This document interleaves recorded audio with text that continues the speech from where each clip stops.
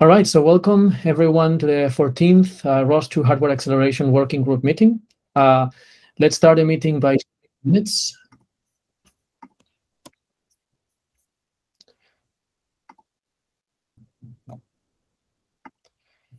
So hopefully now everyone can see my screen. Can someone confirm, please? Yes, we can. All right, fantastic. Thank you.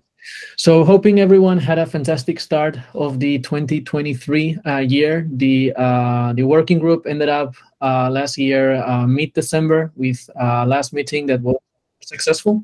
We'll be discussing uh, today some of the results obtained last year.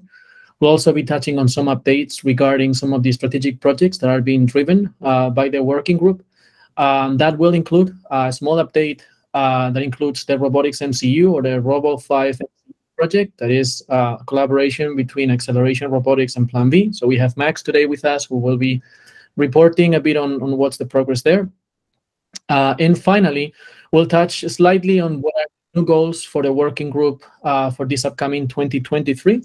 Uh, these goals are not set in stone. Uh, I asked for feedback in the community. So far, hasn't haven't gotten lots of it. So uh, do feel free to send that feedback either in here or offline. Um, again, the the notes minutes are for everyone to comment, but also my email and, and our contact is always open. So with that, let's get started with a couple pieces of news, which I think are worth uh, mentioning. The first one um, is the uh, first, uh, as far as I know, meetup of ROS developers in India. This was successfully organized by part of our team at Acceleration Robotics uh, in Pune and it was driven by Pratik Nagaras and Gaurav. Uh, they did a fantastic job, and they tagged uh, dozens of uh, ROS developers uh, in India. And uh, as far as I'm hearing, it was uh, not only exciting, but led to quite a bit of networking and, and business opportunities. So encouraging and giving kudos to Gaurav and Pratik, and also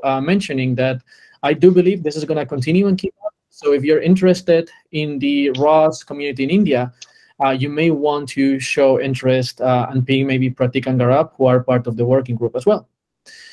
Uh, now, that's the first piece of news. As a second piece of news, uh, I've been told uh, to share, and I'm really excited to do so, that there's an upcoming robotics competition uh, with the subject of robotics and embedded artificial intelligence around adaptive computing, so FPGA system on chips. that's going to be running in Hackster. Uh, details, uh, links, and announcements uh, will come out very soon. Uh, I've been told this, this will get posted also in ROS Discourse. So stay tuned, and I uh, very, very much uh, recommend to pay attention to this competition. There's going to be free boards. There's going to be a nice competitive landscape to show your capabilities for building robot applications. And of course, ROS will be at the center of everything. So stay tuned for more. super excited to be reporting on this. Now, with all of this and people still uh, joining the meeting, we're past the 45 uh, person mark already. Uh, let's uh, let's discuss slightly the first topic because we only have 30 minutes this time. Um, and the first topic is uh, the report that we cooked based on the activities uh, last year. This report was disclosed both in ROS Discourse as well as in a ticket within the um, ROS Acceleration GitHub organization. In a nutshell, um, 2022 was a fantastic year for the working group. We launched three new strategic projects, including uh, RobotPerf, uh, the performance benchmarking suite uh, in robotics, which we'll touch on later. We also announced uh, this cooperation between PlanV and Acceleration Robotics for building uh, the first ever robotics MCU, which is hoping to bring uh, beyond the reuse of silicon from other industries, uh, the first instances of actual microcontrollers that are robotics specific with, with actual uh, specific code natively running it there. Uh, and uh, you can see the details and we'll touch on this later on. And finally, the robotics processing unit, uh, robotic specific processing unit that helps out run ROS2 computational graphs faster. also, pretty exciting. Now, beyond these uh, projects that we kicked off, uh, there is a bunch of uh, objectives that were also achieved. And you can see a summary uh, right in here. Um, the year is listed first. You can see that we pretty much achieved everything except a couple of goals that we uh, we set on ourselves uh, last year, and we were pretty ambitious last year, I must admit. Um, but still, the goals that weren't achieved were for good reasons, I would say. The first one, we didn't manage to merge hardware acceleration kernels into upstream packages. In particular, we pushed for um, the perception stack in ROS and with image pipeline. And the reason why we weren't able to get it merged wasn't because of technical uh, reasons, was just purely because we weren't um, successful enough to convince the maintainers of that package. Um, so um, maybe they are just busy and they didn't have enough time to dedicate uh, uh, initiative. So um, this failed in 2022. We'll retry in the future. So uh, do stay tuned for this. Again, the work is done. Uh, we just need to find consensus consensus on how to integrate this in upstream packages. Still, this lives in a fork right now, which remains API compatible and simplifies uh, integrating hardware acceleration in your computational graphs from a perception perspective. That didn't uh, meet our expectations, but similarly, uh, we failed to organize uh, workshops and robotics on ROS2 hardware acceleration. And I must admit, uh, I'm totally uh, guilty on this. I decided uh, pretty much last minute to not call for a workshop during ROSCON because um, there were lots of um, variables in Japan this year, lots of organizational things to take into account with COVID-related matters and, and related. So we decided to postpone this and neither in ROSCon or in IROS uh, do it. Uh, we might do it in upcoming years, uh, so definitely something also that we might rescue down the road. The rest of it was pretty much accomplished or is still a work in progress, uh, and we'll discuss the goals uh, for next uh, or for this year soon after after this. now, really, really quickly, just to set the um, context how far this group is uh, growing. The ROS2 hardware acceleration working group right now is, uh, I think, arguably the biggest working group in the robotics uh, ROS2 community, uh, purely based on attendance uh, matters. We are already 50 persons today, and we have meetings wherein we uh, got really close to 100 persons. We have lots of persons um, viewing our recordings offline, and we have hundreds of subscribed participants on every meeting in the announced calls. So definitely, definitely lots of interest in hardware acceleration and GPUs and FPGAs. Super exciting. Uh, to put some numbers to this excitement, uh, we have grown uh, from 2021 uh, more than 3.7 times, uh, at least outreach-wise. So the amount of roboticists that we have impacted are actually accounted beyond 1 million. And you can see details about this as well as the one um, delivered for 2021 in, again, in the community repo of the working group. So this is the one that we disclosed uh, in 2021, uh, which includes all details. And this is the one that we disclosed um, uh, earlier in January for 2022. And in here, you also have um, essentially the biggest and most relevant uh, items that we track. There's many, many more dissemination and communication efforts that we just don't track. So the impact is significantly higher than what we are reporting in here. But still, we believe that for a humble working group uh, in the ROS2 community, uh, reaching out about a million roboticists, really a significant uh, number. So uh, great to know, Davis, that you're happy. So so we are to have you. Thank you. Uh, so yeah, that is uh, for setting the context. And with that, I think um, I think we can jump into the next topic. Maybe just a, a, few words about the fact that another great success that I think we achieved as a working group is the fact that thanks to uh, our work together, and especially thanks to those of you who voted in December in the last meeting, finally we got approved REP 2008. So this is, as of now, the first robotics standard in the ROS2 community that defines how hardware acceleration should be introduced into robotic architectures um, in a uh, in a vendor neutral, scalable, and technology agnostic manner. So this paves the way for future growth in a vendor neutral manner, setting down some fair rules for the game so that there's no uh, lock-in as it happened in other areas such as AI, uh, wherein, as we know, certain GPU vendors essentially got overly powerful. So we are um, very much looking forward to see how this can grow into more and more norms, more and more standards. We are working on a few more on our side.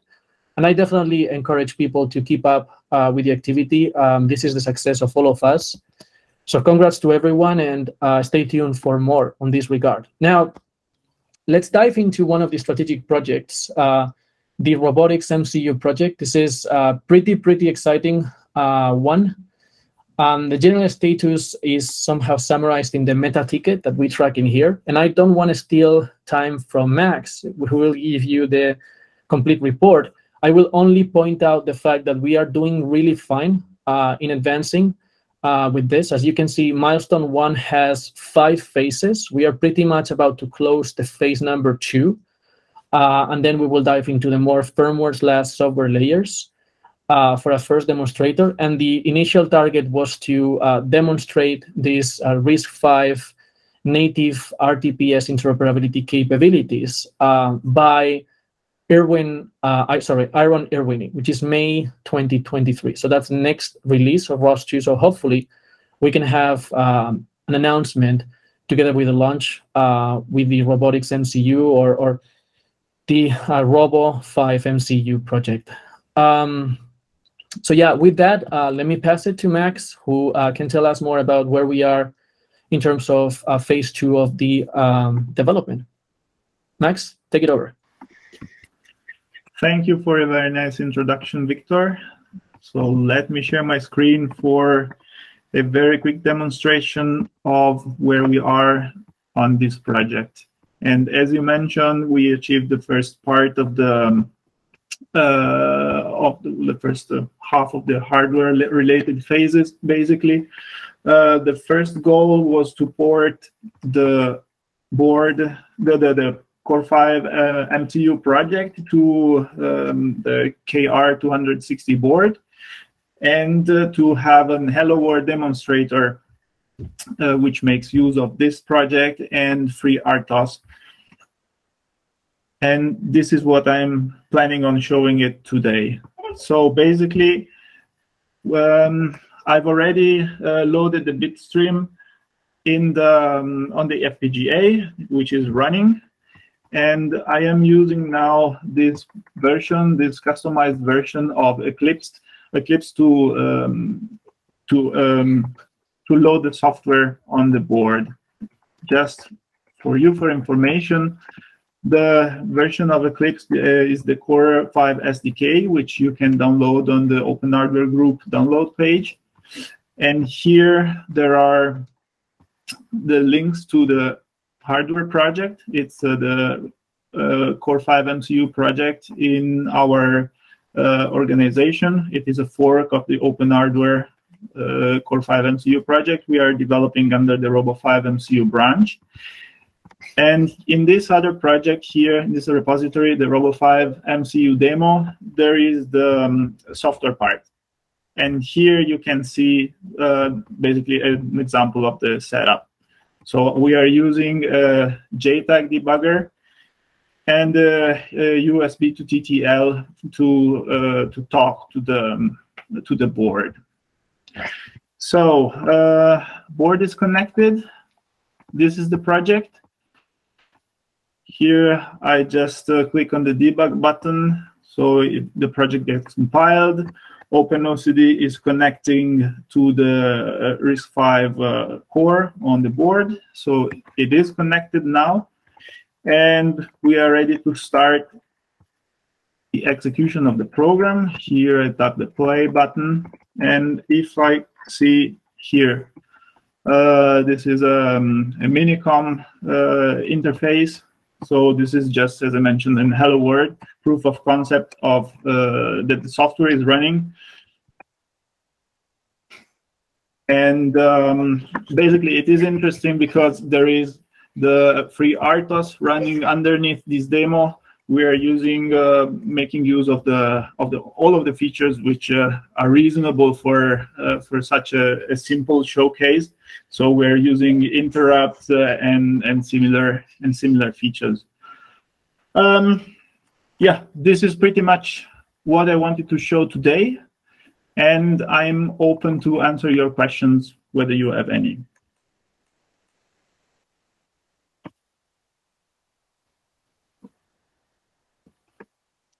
This is this is awesome, Max. Thank you so much for uh, giving that that demo. We love demos. I think everyone's afraid in robotics to give demos, so I encourage everyone to give demos, please.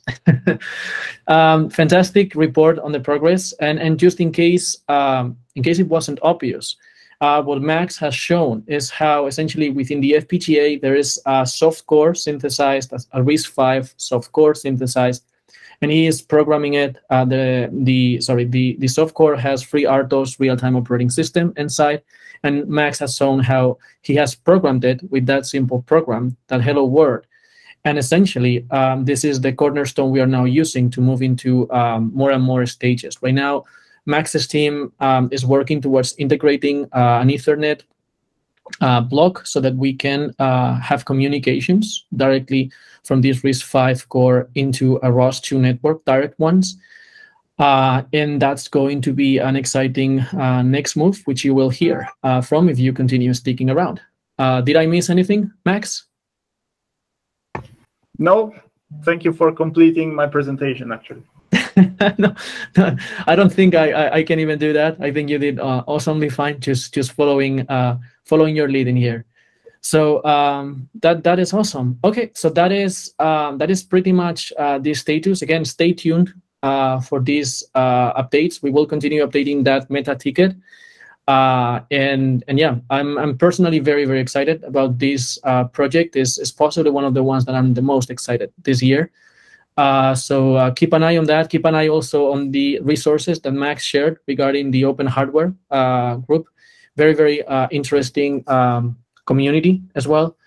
Uh, and feel free to reach out to Max if you have any opportunities uh, that you'd like to exploit with him directly. Okay, so uh, going back into the minutes. Um, oh, there's someone joining. Welcome. so going back into the minutes, uh, and again, just for the sake of everyone, pasting the minutes uh, in the chat so that you can follow uh, on your own. The next thing up is the updates on the RobotPerf, uh, Robotics Computing Benchmarking Suite. Uh, and I'm happy to report that there are new resources available. We have uh, posted uh, finally an update. Again, the RobotPerf project is accessible in this URL uh, that we are maintaining. It's all based on um, static content hosted in GitHub. So thanks GitHub for that.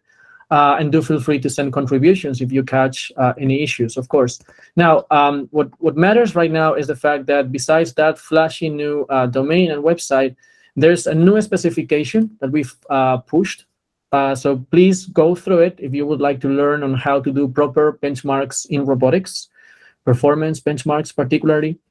Um, do feel free, please, to review REP 2014, which again is an ongoing standardization effort to try to bring this into yet another standard in the robotics community. So do feel free to um, to review this document and contribute uh, to uh, the work that uh, essentially Ingo, Christoph, and myself are push are putting and pushing out there. And finally, uh, there is the source code uh, available uh, of the benchmarks, as well as a new repo that contains uh, ROS packs. And this is something we'll be discussing uh, briefly. So the source code of RobotPerf is now uh, being increasingly completed. So you can now have a, a sneak peek uh, or a preview into the first implementation of the benchmarks. This is particularly one we'll be touching on today. Uh, two-node perception example. But in addition to that one, we created another repository called ROSBags, which are going to be ROSBags which will uh, be used to feed and, and execute benchmarks in a fully reproducible manner. That is the intent. And so every single benchmark will always be referring to a particular a particular ROSBag, sorry.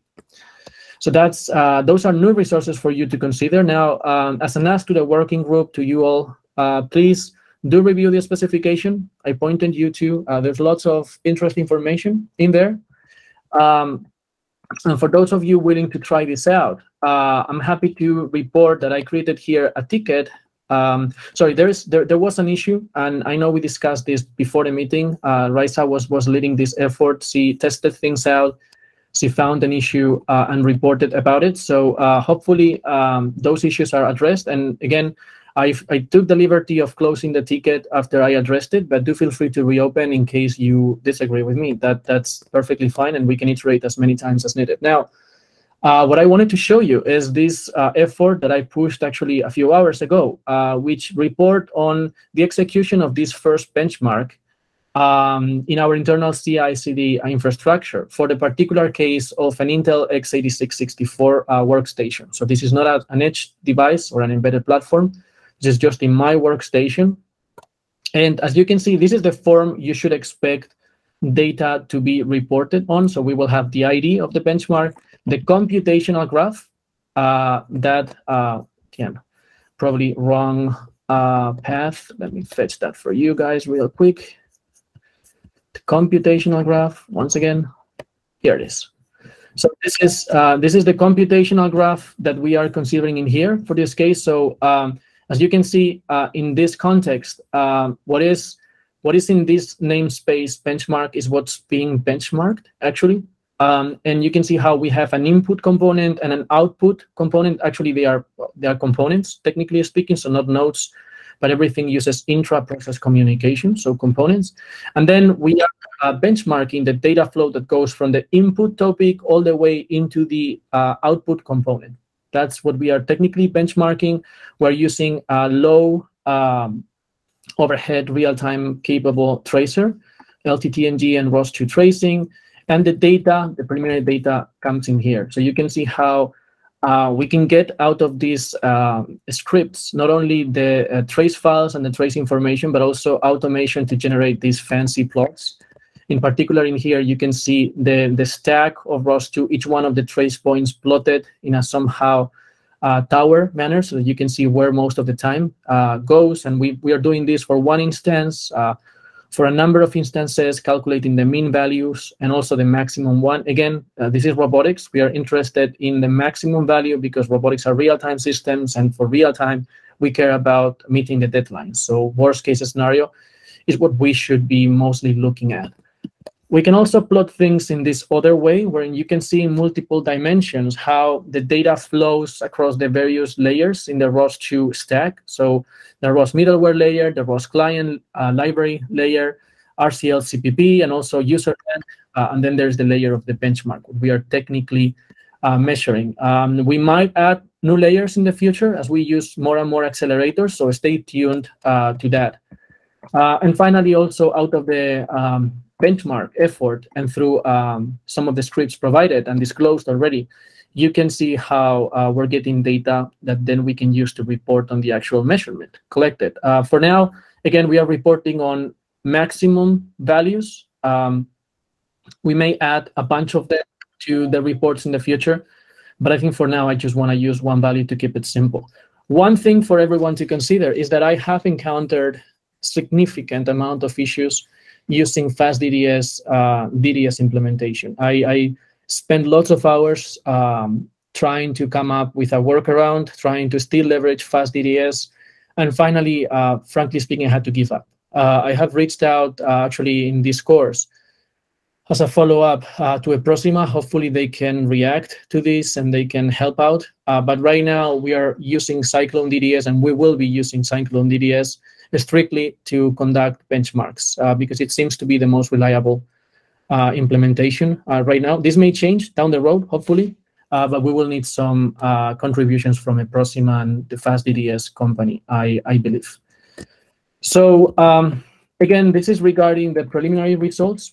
Um, next up, so what's coming next? Because right now you can literally uh, go into the repository and reproduce this same thing in your work uh, stations and or in your uh, own edge targets. So what is missing right now in uh, RobotPerf to start scaling? Of course, we're missing lots of benchmarks, so feel free to start understanding the uh, methodology and to propose your own benchmarks.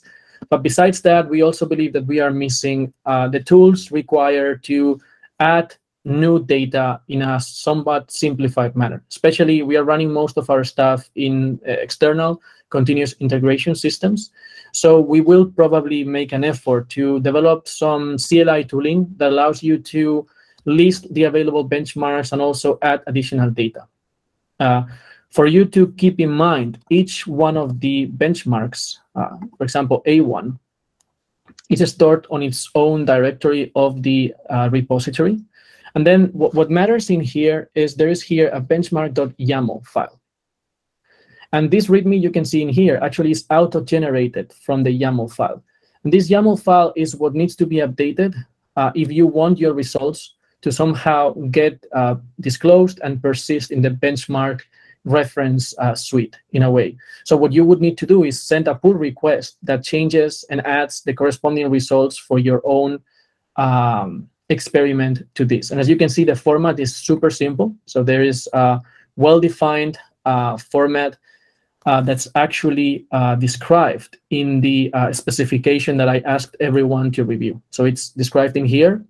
There is a section in here uh, about general concepts and particularly about creating a new benchmark and how you should describe it. So uh, keep an eye on those benchmark.yaml files, which are part of each one of the ROS packages. And also keep an eye on the extensions we will hopefully contribute soon. I don't want to commit for the next meeting, but maybe, uh, which will add yet new ROS packages, uh, particularly um, benchmark extension to the ROS2 CLI, so that you can do ROS2 benchmark whatever. And that whatever will come in the sense of subverbs that allow you to list benchmarks, to add value to benchmarks, so that you don't need to deal directly with these YAML files. Everything should happen in a simplified manner. So uh, with that automation in mind, uh, now hopefully you know what is coming next. Uh, also, we might do some preliminary work also on building uh, minimalistic CI/CD uh, infrastructure in the robot perf benchmarks repo to validate that each one of the benchmarks at least builds. Uh, we we don't want to overcommit because maintaining CI/CD infrastructures are big commitments but at least we can automate the process of validating that it builds. Uh, that should that should be manageable for us. So those are the next few things that you should expect uh, from our side. Um, no updates on the robotics processing unit, but uh, there certainly will come uh, later this year updates on this regard. And finally, just as a heads up, uh, please keep an eye on REP 2014, very connected to robot.perf. Um, there hasn't been any major updates due to time uh, restrictions, but we will put time into this in the coming weeks, months. Now, um, I know we're almost at the uh, top of the half an hour allocated, but I wanted to briefly give, give you guys a heads up of what are the new goals uh, for this year. You have them described in here, but roughly, roughly, there's four major topics uh, I'd personally like to propose that we focus on. The first one is that I think it's crucial at this point, given the fact that we have enabled multiple boards and hardware accelerators, that we developed uh, and published a comprehensive set of benchmark tools and benchmark reference um, mechanisms to evaluate what is best for each uh, scenario. This will help you architects come up with the best uh, computational solution for your robotic uh, situations. That's the number one priority, I believe. The number two is increasing the amount of vendors participating, uh, silicon vendors and hardware manufacturers coming up with accelerators. I'm very much pushing for getting more and more vendors to participate, and we're being successful. So um, this is making the group greater and making our activity more valuable and relevant. So stay tuned for announcements on that regard. Um, third, somewhat connected, is the fact uh, that um, connected also to the silicon vendors, there is an increasing amount of companies that want to leverage hardware acceleration. And I cannot list uh, some of the names because some of these discussions are ongoing, but I can tell you there are some big names in the ROS2 world which are starting to build on top of our work. So this is yet another reason for you to invest your time in this working group, to contribute, to get involved, and to pave the way for what I personally believe is going to revolutionize robotics, which is hardware acceleration. So um, this is something uh, we will put uh, efforts on, which is increasing the collaborations uh, with industry partners and the adoption and embracement of what we have created and pushed forward so far. Last but not least, the strategic projects. What I've been discussing on uh, the Robot 5 MCU project, the Robot robot.perf, and the RPU robotics processing unit projects. Um, this is pretty much it, uh, what we had. Sorry for the extra one minute. And for those of you that want to stick around, happy to take a Q&A now uh, for everything that we discussed, including Max's demonstrator and or any suggestions you may have for goals for this year. questions, comments?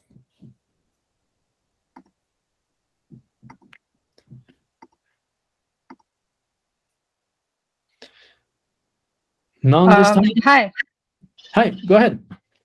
Hey, um, so I just wanted to mention that um, I am working on uh, changing the infrastructure of REP uh, 2014 as to, um, I forgot uh, his name, but um, he mentioned that it should be in a way that's more similar to other ROS reps. So uh, I am tackling that uh, if anybody is also interested in uh, working on that, just um, send me an email, ping me, um, and we can work on it together.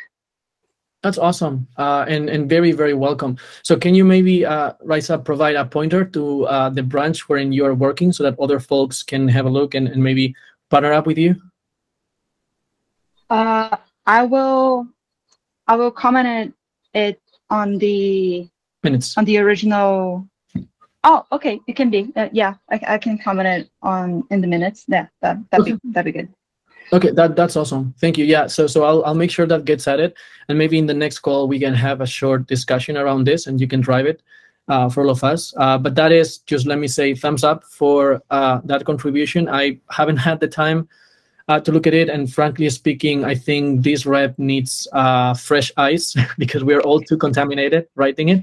So um, I think your blood and fresh blood in here is going to be super welcome. So excited to receive your contributions and have you as an author. Thank you. Raisa. Thank you. All Hi, right, Victor. go ahead. Hi, Hi, this is yeah, this is Larry from Intel, and uh, I tried out the new benchmark tool. And uh, do we need to do anything to configure the hardware? For example, if I want to run on Intel platform or I want to run on AGX, do I need to change any configuration?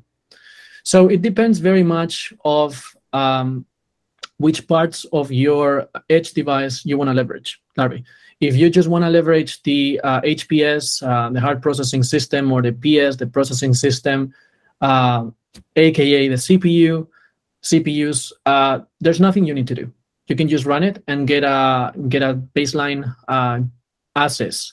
If you, however, uh, want to leverage some of the accelerators, then you need to change your launch file into one that somehow captures the essence of your accelerator. Let me particularly give you a hint towards uh, what I'm speaking about. So, for example, uh, in the case of right now, the A1, which is the only benchmark available, again, we just needed one for demonstration purposes. You can reproduce it with instructions that you have in here uh, Mhm. in the CPU just directly. You will have, uh, and you can note that essentially it goes all the way down into launching this uh, launch file, which is living right under here, right? Mhm. This one.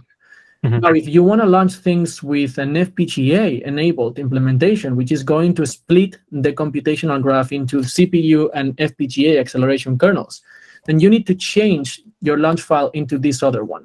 Mhm, mhm. And so what's happening in here is that instead of launching the image proc CPU centric uh, nodes, it's it's launching the ones that come from a uh, essentially uh, from the image pipeline perception stack that has been forked and enabled for FPGA capabilities. So that's, Mhm. that's something to consider. Obviously, your FPGA or GPU solution needs to have uh, support for that. But I'm more than happy to touch on that with you uh, on a one-on-one basis and, and see how we can help. Sure. Sure. Thank you so much. No worries. Uh, happy to help. More questions, folks?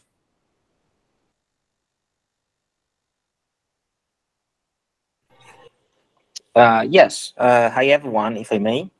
Um, the uh, RISC-V implementation of the Robo-V, um, how much of the uh, FP, the fabric of the FPGA resources uses?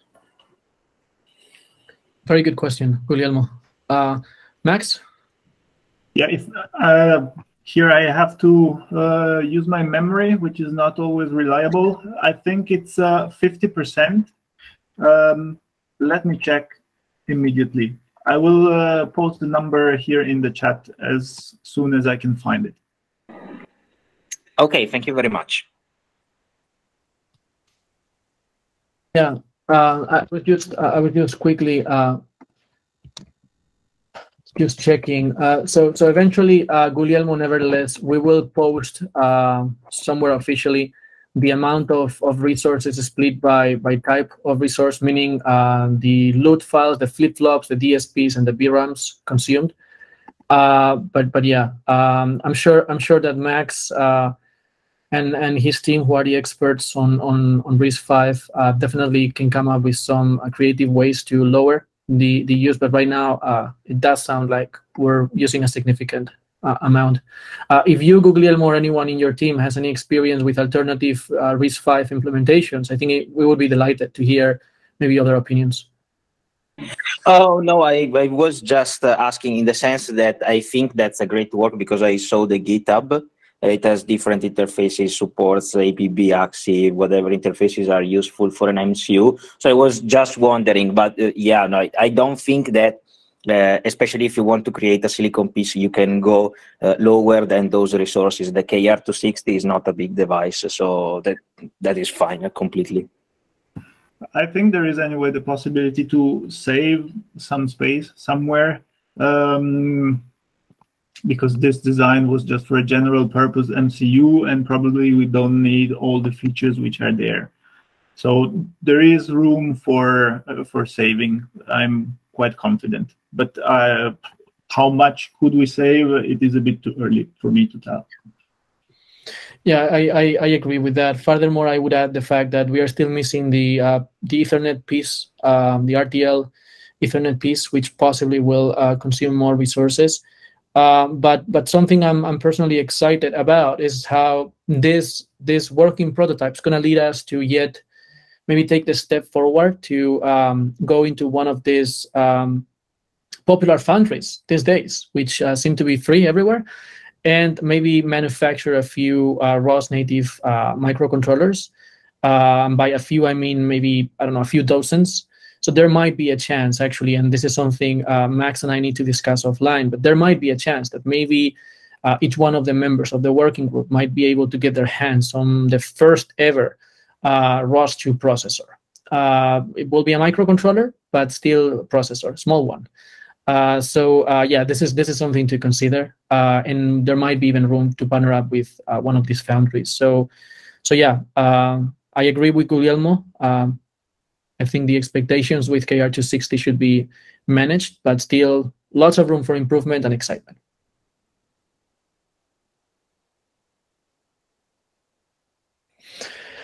All right, so um, unless there is any other pressing question, I think we can break it in here, folks. Thank you for this uh, extra minutes. Oh, here we go. So Max just um, posted all of the resources. Yeah, it's a bit high on BRAM utilization, but the reason is that this synthesis round included an um, internal logic analyzer. So we can assume this number is lower in reality. But uh, yeah, I don't have the um, the numbers per uh, per entity in the design at the moment. But for us to consume this, Max, uh, what is what is each column? Uh, so, so the last. Uh, it didn't get copied. So first column is uh, the number of well utilization, availability, and percentage of utilization. Okay, that's what I was uh, looking for. Awesome. So I'll get this pasted, guys, in a minute so that we have it handy. Thank you, Max, for, for passing this. This is super no useful. Trouble. And uh, again, folks, stay tuned for updates. Uh, we will continue working. Uh, please uh, reach out if um, there's any further ideas that needs to be considered. And other than that, have a fantastic rest of your day uh, or night, as in my case, I think. Uh, and and yeah, um, stay tuned and continue contributing to ROS, please. Uh, sorry, there's a quick question. Victoria, you just got me. Go, go for it. Oh, it wasn't a question, maybe. It wasn't a question. Okay, so everyone, have a good one. Thank you, and see you in the next meeting. Take care. Ciao, ciao. Bye-bye. Bye, everyone. Thank you. Thank you all. Bye-bye. Bye. Thank you.